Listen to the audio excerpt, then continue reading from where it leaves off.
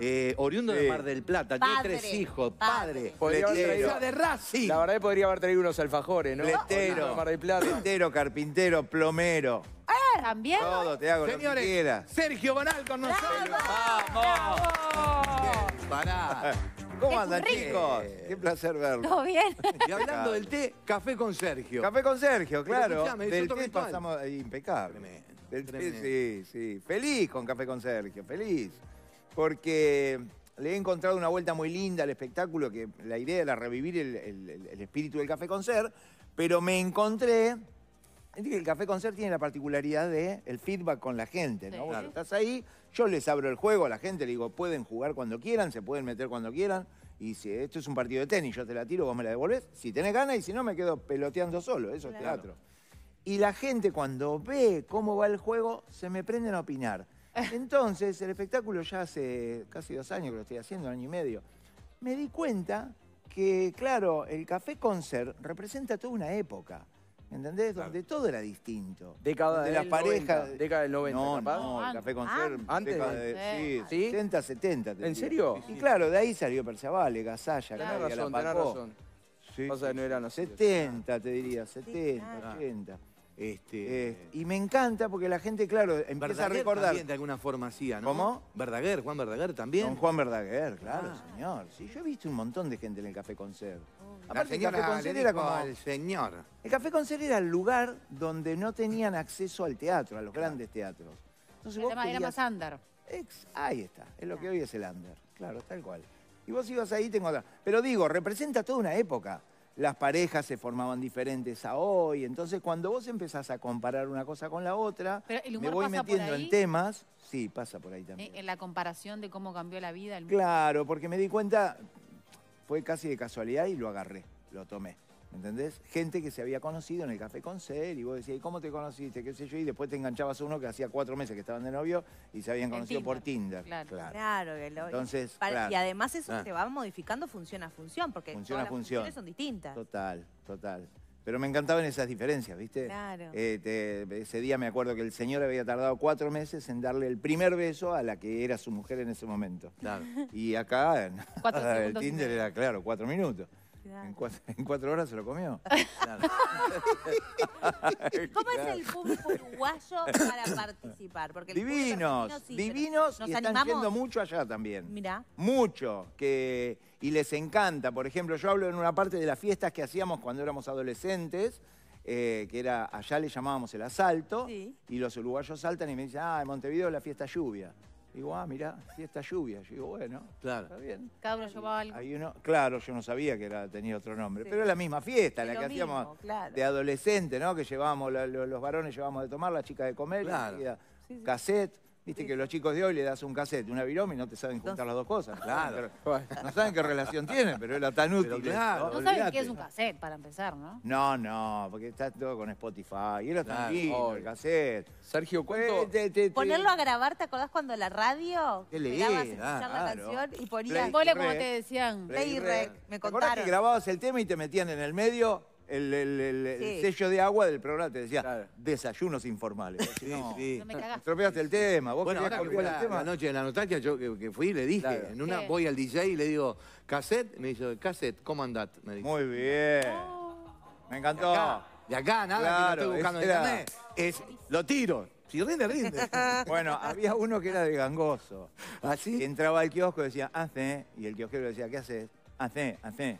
¿Qué haces? ¿Qué haces? Hace, flaco, hace, hace. De música. Ah, perdoname. TDK, eh, pon un café. Pasó rápido. No. Tremendo. Pasó rápido, Tremendo. pasó rápido. Claro, pasó, pasó. Claro. Sergio, ¿cuánto, cuánto te marcó, ¿cuándo te marcó Tinelli en tu carrera Uf. para ser lo que sos hoy? Y todo. Todo. Todo. A partir de Tinelli empecé a, a comer seguido. A poder planear. a poder proyectar algo. Claro. No, yo trabajaba en Mar del Plata y tenía mi programa de radio, mi programa de televisión en Mar del Plata con, digamos, este, eh, con el techo que me daba Mar del Plata. Me podía ir, hacía giras hasta Balcarce, Tandil, que eran las ciudades aledañas. Claro. Marcelo lo que me dio fue una proyección Una a nivel claro, nacional e internacional y encima tuve la bendición de haber pegado personajes en su momento que quedaron en el recuerdo de la gente y la verdad que agradezco. ¿El diario fue el mejor?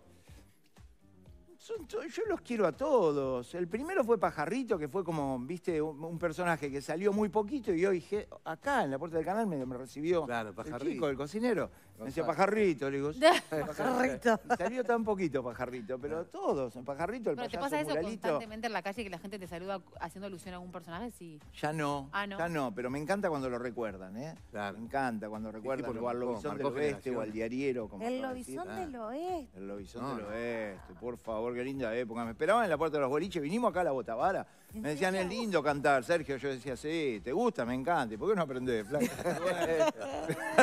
Pero le meto una onda. Ah, Claro. Fui a aprender canto, te juro que le ¿En metí serio? onda. Fui, claro, si pegué un personaje que cantaba, digo, tengo sí, que aprender. claro. Claro. Iba la profesora, iba. A los seis meses me dice, en vos, en seis meses estudiando con la profesora de canto, me dice, en vos veo la viva imagen de Beethoven. Le digo, pero Beethoven tocaba el piano y vos sos sordo. no, pero le- me, me encantó, el Lobizón me encantó, es muy divertido. Muy divertido, entró en un momento justo para bailar, Claro. el doble sentido, no decía ni una mala palabra, pero era todo. claro, pero lo dejaba ahí, la dejaba, La dejaba llevaba la puerta, ¿no? Claro, pero era hermoso, qué sé yo, ese doble sentido a mí me gustaba. Y mucho. después fuiste parte de Sin Codificar, además. También, También. sí. Otro programón. Otro programón. Para mí, los chicos habían encontrado. Yo fui parte cuando ellos festejan los 10 años de Sin Ajá. Codificar y me invitaron a participar ese año. Y la verdad que me encantó. Y descubrí, digamos, que le habían, que habían resignificado la manera de hacer humor los chicos. Ajá. Porque el humor, se dice que hoy no se hacen programas de humor porque es caro. Porque necesitan muchos decorados, mucho vestuario, mucho elenco, mucho. Bueno, acá era un pivot, que era Dieguito Corol, Tal cual. y todos los chicos que entraban y salían de manera permanente a divertirse. Y me encantaba. Y-. ¿Y cómo te llevas con las redes y el humor y ese vínculo con la gente más directo? Me llevo, digamos que bastante bien, pero no. eh, Yo siento que las redes pertenecen a una nueva, a una era, a una Claro. nueva generación. Entonces yo ya soy un señor de. de- O sea, lo ves como con respeto, desde un poco cierta distancia. me llevo bien, tengo 225 mil seguidores, está Ah, bien. Pero ¿y tus bien. hijos, y tus hijos, porque fuiste padre joven, tus Sí. hijos no te, no te ayornan un poco? Y me pueden ayornar en el manejo, pero viste que esto lo maneja la nueva generación. El tema es el lenguaje. Entonces, claro, los chicos se ríen de cosas por ahí que yo ya no Sí, tengo claro. ese código. Sí, sí, sí. Entonces, si, si yo quiero bajar al terreno de ellos, voy a quedar como un señor mayor, van a decir, señor, ¿qué está haciendo? Claro, sí. Entonces yo me tengo que habituar a lo que me toca, a lo que me corresponde y trabajo para mi público. Que es aquel señor que dice, a ver, ¿cómo es? ¿Dónde? ¿Dónde está? ¿Dónde está? Y digo, bueno, Claro. viste, el que te va escribiendo de y es un público más que le gusta verte en Sí, vivo. más que a Exacto, nosotros venimos de otra época, sí. por favor. Claro. Nos vemos por acá. Cara a No, pero- cara, claro. No, no, no, pero, no, pero hay un montón de gente. Obvio. Pero a mí me encanta, mi mamá usa esto, obviamente, pero viste que las madres, no sé si les pasa a ustedes, viste que vos abrís el WhatsApp y te pones escribiendo, escribiendo. Así que- Y no llega nunca. escribiendo. Hola. A la media hora te llega así. Hola. No, Hola. a la Hola, hijo. No, y a la media hora te aparece grabando audio. O sea, es que. A la madre es muy de es que grabar audio. renunció a la escritura. Los audios y son pasó al eternos. audio. ¿Cuál ¿Por qué la madre es tan del audio? ¿no? Eso, No, es, no un- eso es para estudiarlo sociológicamente. ¿Por qué ¿Vos qué? sí? La madre es del audio. Del audio. Y porque es más Es más fácil, el audio Claro. que estar escribiendo. Yo te digo, yo que soy corta de vista, hay veces que necesito, si estoy sin lente, necesito el audio porque te puedes llegar a escribir cualquier, cosa. Cualquier cosa. Sí, claro. Uh, me ha pasado. Por eso. Viste que con el corrector Claro. Ah, hay una, sí. Es unas palabras muy peligrosas. hay Sí. palabras peligrosas. O sea que mi mujer, te- te cuento una breve y no, no voy a decir la palabra, obvio, pero mi mujer se fue a esquiar a Bariloche hace poquito. Entonces, mm, apare- se fue con el hermano. A los dos les gusta esquiar, los dos dijeron, no vamos a esquiar, listo. Y aparece con un gorro muy ridículo mi cuñado. Ajá. Y le digo, me hace reír mucho el gorro de tu hermano. Era un gorro que se había alquilado, una cosa así, con dos cuernitos, muy simpática, te muestro la foto. Me hace reír mucho el gorro de tu hermano. Y claro, si vos mirás, antes de mandarlo, decís que no lo mandé. Antes de mandarlo miro, claro, la G está al lado de la F. Y yo había puesto, pero sin querer, viste que uno escribe, y había puesto la otra palabra. El Claro. gorro con Una F. que usan más Con ustedes que Digo, no, no, no puedo decir esto a mi cuñado. No tengo tanta... No, no, está No, bien. Claro, ¿por qué le estoy diciendo tan agresivo? con ¿Por qué? cuñado? ¿Por Me hace qué? reír mucho. Sergio, fuiste padre muy joven, a los 18 años. A los 18, sí. Tenés tres hijos. Tengo tres. Te- correcto. te- te- ¿Cómo te, te tocó la paternidad siendo tan joven? Vos sabés que a mí me hizo muy bien, Coco. Muy bien. Me... Primero yo estaba profundamente enamorado de la mamá de mis hijos. Hoy es una gran amiga. Eh, entonces, ser papá a los 15 fue como que me... No, a los 15 no. Desde los 15 yo estaba de novio con ella. Desde el colegio que estábamos de novio. Y a los 18 quedó embarazada.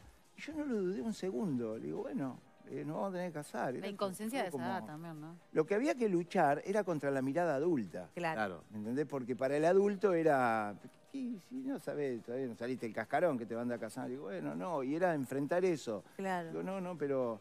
Y por suerte ella estaba de mi lado. Entonces era, pero tuvimos que enfrentar...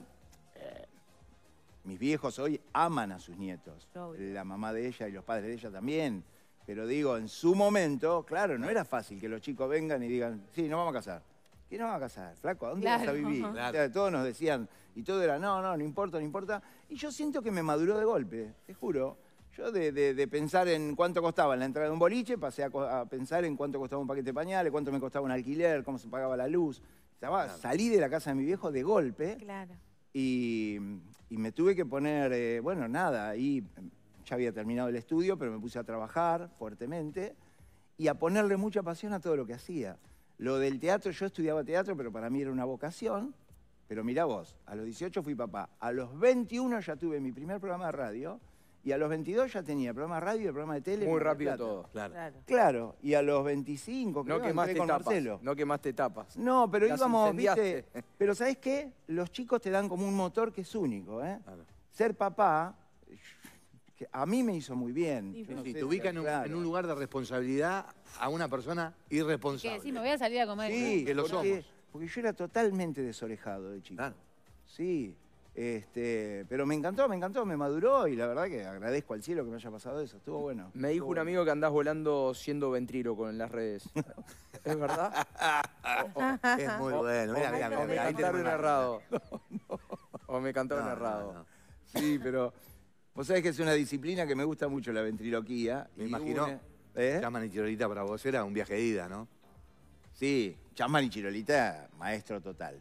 Pero yo te cuento una anécdota breve. Mi padre hizo la colimba, ¿no? En Río Gallegos, al sur de la Argentina. Un día yo, papá pintaba carteles, era letrista. Y un día yo vengo caminando con papá por la costa de Mar del Plata y había una confitería muy conocida que era la Confitería París. Ahí se presentaban cantantes de tango, estaba Juan Verdaguer, estaba Enrique Dumas. Una confite- lo que, un café con ser de lujo. Entonces papá se pone a mirar, yo me acuerdo que era muy chiquito, y se pone a mirar por la vidriera. Bueno, ¿qué va? Para hacértela breve, uno de los artistas que actuaba, era un ventríloco que llamaba Javier y Jaimito, había hecho la colimba con papá.